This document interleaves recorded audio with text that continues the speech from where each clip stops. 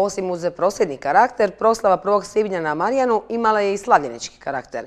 Bilo je tu i mažoretkinja i klavske pisme i zabavne glazbe i naravno fažola.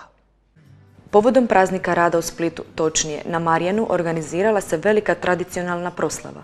Uz dvije i tisuće posjetitelja, besplatna porcija fažola je nestala u trenu.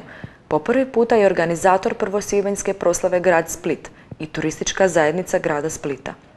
Za ovogodišnji blagdan osmišljen je program na platovu Zološkog vrta. 150 kila fažola, 100 kila suvog mesa s kovacama i 50 kila orza i 30 kila kapule i 20 kila mrkve. 2200 porcija, evo baš je već pri kraju. Ove godine je našim sugrađanima besplatno podijeljeno 2000 porcija fažola. Osim tradicionalnog fažola, građani su uživali u porcijama čevapa, srdela i ukusnih palačinki, u kojima su najviše uživali najmlađi posjetitelji. Nije izostao ni prigodno kulturno-zabavni program.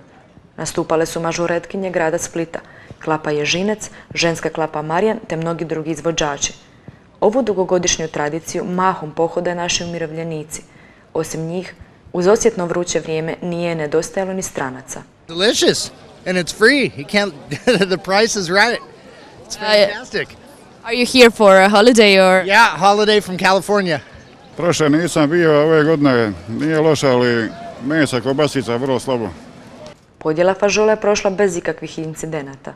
Uz glazbu, hranu i lijepo vrijeme nije nedostajalo ni onih koji su ovaj prvosvibanjski blagdan proveli u šetnji i trčanju.